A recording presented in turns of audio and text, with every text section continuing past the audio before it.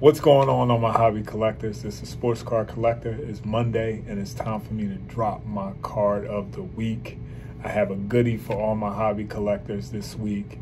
Um, it's it's probably the second slab I bought when I got back into the hobby, and this slab is significant to me because when I got back into the hobby, I went on like Ken Griffey Jr. overload and um, I was just buying a bunch of Ken Griffey Jr. cards.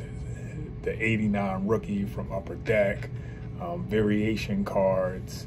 I was trading, I was connecting with a bunch of hobby collectors, seeing what they had, and I just accumulated a bunch of uh, raw Ken Griffey cards and a bunch of graded Ken Griffey cards.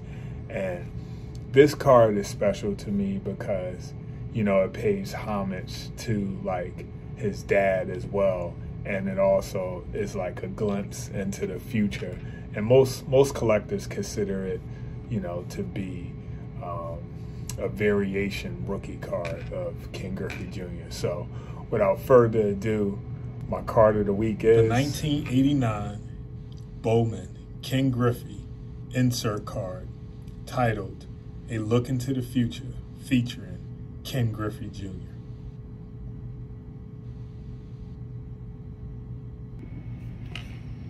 I hope everyone enjoyed my card of the week. Um, this is probably one of my favorite uh, Ken Griffey, Ken Griffey Jr. cards. Um, one because you know I, I, think it's a passing of the torch.